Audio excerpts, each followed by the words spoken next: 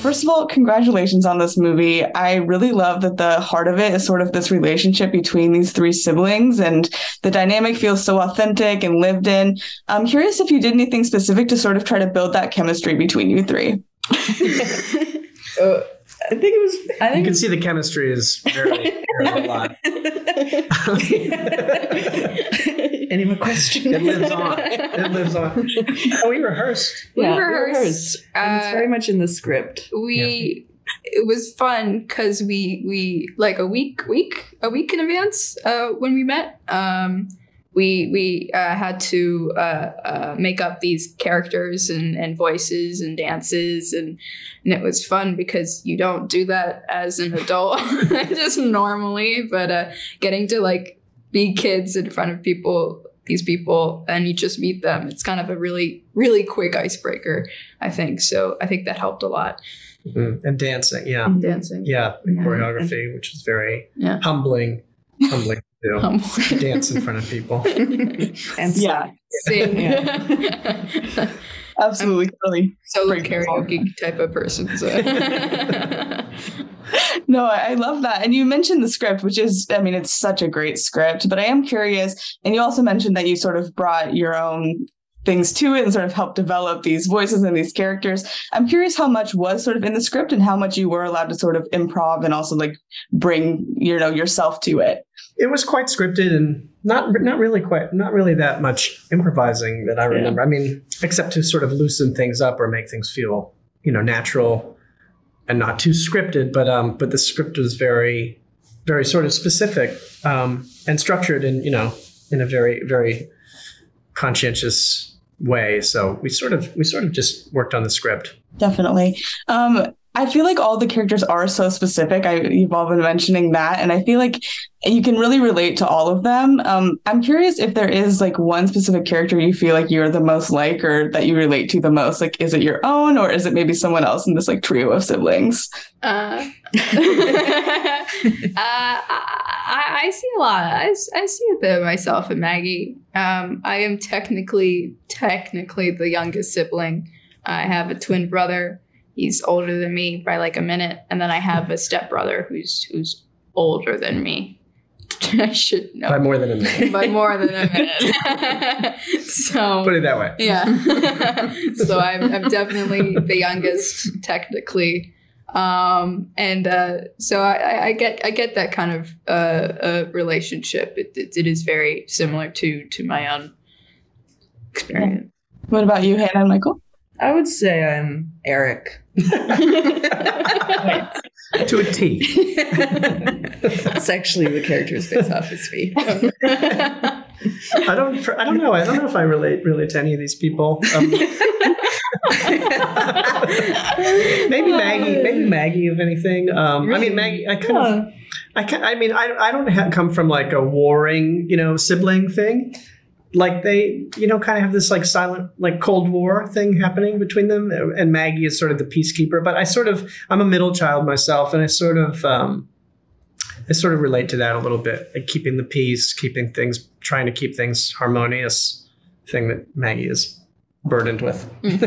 I, I really love how this film sort of captures that specific language that families speak with each other. I think obviously through song and dance and through humor. Is there like a specific language that you would say that your own family speaks? I know mine is like movie references. That's my family's always speaking through movie references. There's a lot of that, a lot of that in my family. Um, in my, my actually, I have an older sister who does um, vo- quite a lot of voices. Oh. Um, not like invented characters like this, but she's just sort of like an amazing impressionist. Mm-hmm. But she'll do anybody like she'll go to the DMV and have a weird person, you know, serving her, and then she'll come home and tell you the story and really, you know, render that person, and it's it's great. Yeah, Yeah, I'd say bad accents probably. Bad accents. Yes. Bad accents the family language. I feel like That's that's, a it. fun one. Yeah. I wish there was movie references in my family. My brother doesn't like movies. Just so odd to me. I know. I find that so strange. It's like, Oh. but we're going to restrain him tonight. yeah, I know. Do you think that's a sort of an attack on you and your life no, choices? I just, you know what? I didn't really think much Huh? about it.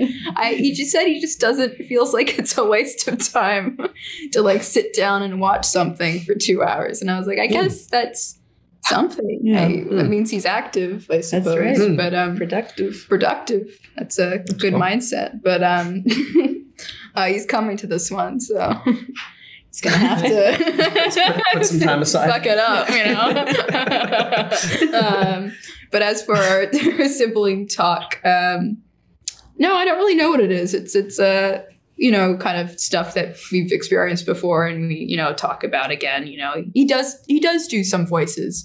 He's more of a physical guy. Like he does more like physical acting, sort of, you know, instead of voices. But um, yeah. No, I, I really love that. Um, I think that the tone of this movie is so cool because there is obviously some really raw emotion and drama going on, but it is really funny. And I mean, I laughed out loud multiple times. I'm curious, sort of, what the most sort of difficult thing to shoot was, and then maybe what the most fun scene um, to shoot was on the other side of that. When you say difficult, the first thing that comes to mind for me is when we were doing our scene um, in the backyard where we do all of our characters Mhm. in this sort of showdown, horrible thing. But it was just very, very cold.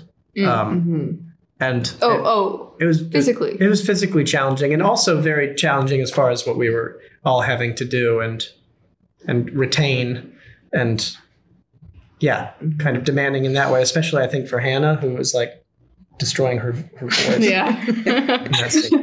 in that so that was challenging. Yes, later to be put on the audience who has to listen. Transference of pain. Isn't that what acting That's is? That's what we do. yeah, it seemed really, it seemed really hard. Um, you guys, you guys toughed it out. You were there. I was also there. I didn't say much. I was like, "Don't do it. Let's party." I think that's what I say. Something like that. You were enduring the cold. The yeah. cold. Well, yeah, yeah, yeah.